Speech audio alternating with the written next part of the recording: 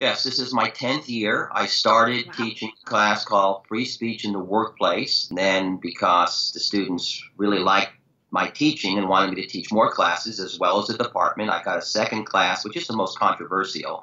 Uh, and it's ironic. It's called Race, Sex, and Politics Free Speech on Campus. Of course, the administration had no idea at that time, uh, you know, the way I would teach the class, or that would have never been approved.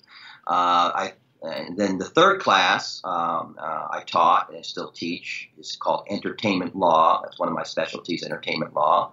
And then the last class, because I was a uh, very good debater when I went to UCLA, similar to debate, it's called uh, uh, abortion, gun control, the death penalty, arguing contemporary social issues. So I currently teach four classes. What's most rewarding to me is being able to be a positive influence in um, these students' lives, and I feel a deep connection to these these students in particular because I went to UCLA when I was 17 to 21, and mm-hmm. the, students, the, students, at UCLA, and students uh, uh, you know all over the country, uh, I, I, know are special, uh, but UCLA happens to get uh, extremely intelligent students. They're you know they're lucky in that over 100,000 students apply to come to UCLA, so they really can cherry pick some of the very best, the brightest uh, brightest students. And we have wonderful international students as well at UCLA. So uh, I feel very honored uh, uh to teach at UCLA and, and, and, really to be a positive influence in their lives. As a conservative professor, do you feel that it has really negatively affected your ability to teach freely in that environment? Actually, if someone sits in my class, uh, it's an extremely balanced presentation. The, to the last part of your question, my own teaching style, uh, there's nothing the administration can do on this campus or any campus uh, that I would teach uh, in the United States that would limit my teaching style. There's no threats. Uh, there's no threats that can be made to me. Uh, um, no, you know, pain of any type of discipline which would ever get me to uh, to change um, the way I teach. What caused the media to label you as such then? Well, it's because the reason UCLA has taken the steps they have in the last uh, uh, few months to get rid of me is based upon uh, the message that is in part portrayed in my class. So, for example, the first day you're in any of my classes, I'm very clear I do not believe in safe spaces, trigger warnings, I don't eschew microaggressions. Uh, these are all uh, points that the left uh, expects professors uh, to adopt. So you know, right, so right from the very inception, the first day one takes my class, it, it is uh, the principles or the teaching styles antithetical to way to the way um, uh, the progressives uh, want you to teach. And then my and, and then as I say, my class is very balanced. you're not going to hear diatribes against Donald Trump. Uh, there are certain things that I think that Trump, that President Trump does that make sense. Uh, certain things that don't. For example, when Donald Trump talks about burning the flag, uh, I take him to task on that. Uh, we have every right to burn the, uh, the, flag in this country. You may not like it, uh, but you should support vehemently Americans' right to, to, to, express themselves, even in ways that you find to be offensive. so my class is very, very balanced, but they're already getting students are already getting one side. I mean, I don't have to repeat the other side. Students are, you know, for example, the minimum wage issue. You know, all I already know all the way almost all the students think. They all think that minimum wage uh, laws are great, and we need to have the fifteen dollar minimum wage. But nobody's ever explained to them any arguments uh, contrary uh, uh to why uh, the minimum wage should not be uh, 12 or 15 dollars. And then i take time to explain these points not to tell them how to think but to make them think. So let's talk for a little bit about the free speech issue on campuses. Obviously there's been a lot of examples i think a lot in california specifically but kind of all over as well where a lot of conservative students, teachers, whatever, have really been shut down due to the very liberal leaning colleges. So, is there a way for us to start fighting back? What is the first step there? Well, the first step is donors should not contribute money to schools that don't comply with basic values that Americans hold. Okay, and you know one of those is schools need to be marketplaces of ideas, hmm and people should be hired to teach in you know in all positions, um, irrespective of ideology. So students that run afoul uh, of, of the uh, schools that run afoul of these basic tenets, donors should not contribute money. Hmm. And I, I mean that's that's the real way uh, to go after schools. You know, Okay. President Trump could do something, uh, and we can stop uh, uh, funding, stop giving federal funds Mhm. uh, to schools that run afoul of Title IX, uh, you know, or, or, or, you know, or, or basic uh, First Amendment rights. Mhm. Uh, and then students have access to the media. The media, you know, the media is very powerful. And as you see, even in, in my in my instance, I'm just one teacher at one school, but this issue, um, you know, has has uh, you know rung true uh, all across the nation. People are very upset at what UCLA is doing. And as I've said, what's happening, and I think you said it as well, it's a microcosm of a macrocosm. Hmm. This is happening. This is happening throughout the country. My question would be then, in your vast experience, what would your advice be to students on campus who are fighting for their free speech and to not be shut down by the bigger colleges? Well, they should. They need to go to a lawyer. I mean, they, Okay. they need to fight, and they need to go to a lawyer. Uh, primarily, uh, Fire is a very good organization. Okay.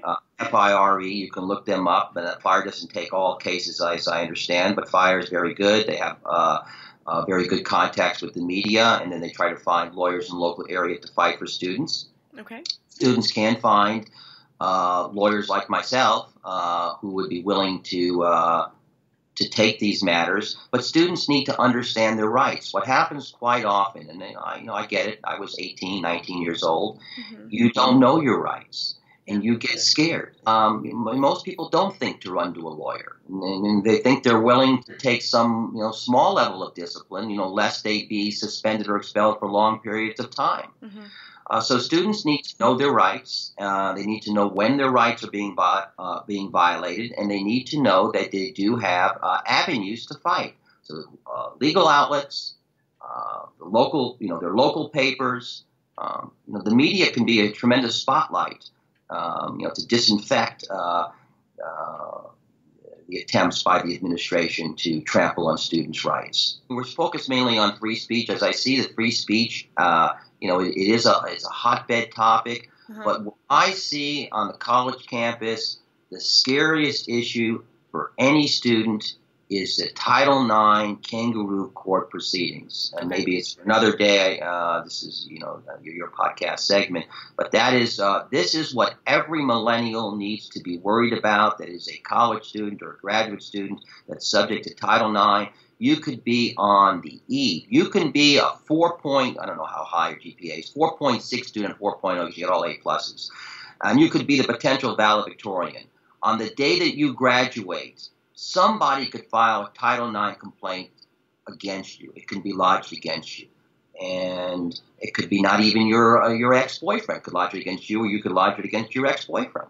Wow. Uh, just because you know you've now graduated, you're going to Harvard Law School, and you say, "No, I don't want to date you." It's just retaliatory. Uh, there's no basis, but just out of spite, your ex your ex boyfriend lover files a complaint. Hmm. The administration is going to freeze. They are going to freeze your ability to graduate. Your whole life is going to be put on hold. It can happen the very day you're going to graduate. You can be the very top in your class Mhm. which then is going to have the effect of you not being able to go most likely to the Harvard Law School. And then it gets into the, the, the territory which is very, very scary.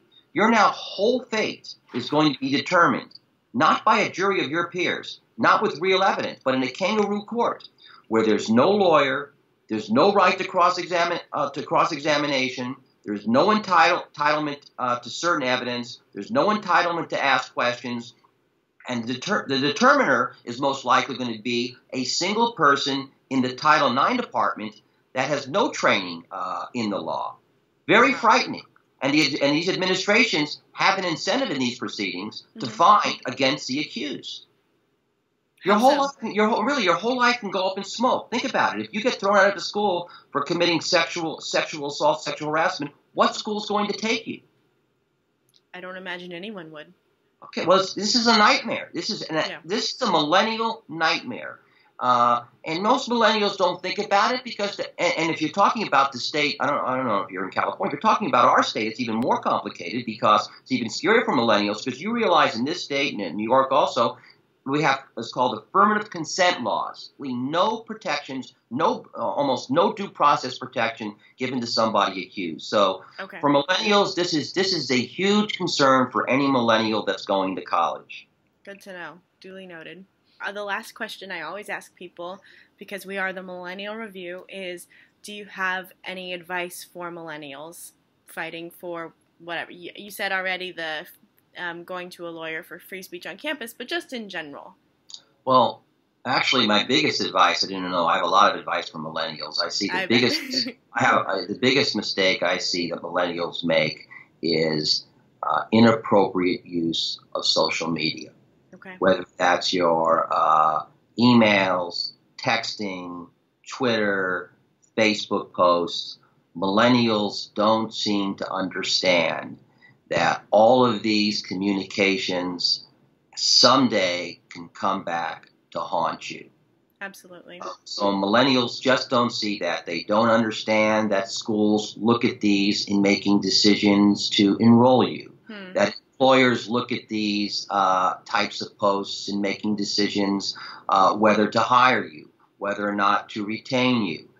Um, so students just don't just don't think uh, yeah. in putting these types in these types of messages. And they, people want to go up on screeds against uh, uh, uh President Trump without thinking uh, on Facebook, without thinking, or or, or President Obama, whoever it is, whatever the scenario is, without thinking of the consequences.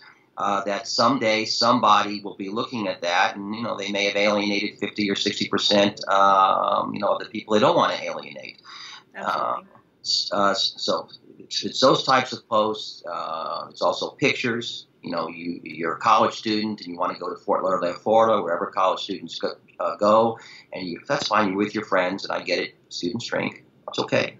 I guess, but you should be over 21. But don't take the photo of being topless and with two bottles of beers and then post it.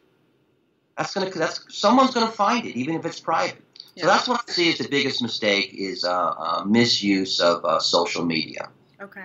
Well, thank you so much for your time. We really appreciate it, um, and for all of your your knowledge on the subject. Um, I appreciate you having me, and if any of your millennial listeners ever need any help from me, um, I'm happy to do whatever I can uh, to help you or your listeners.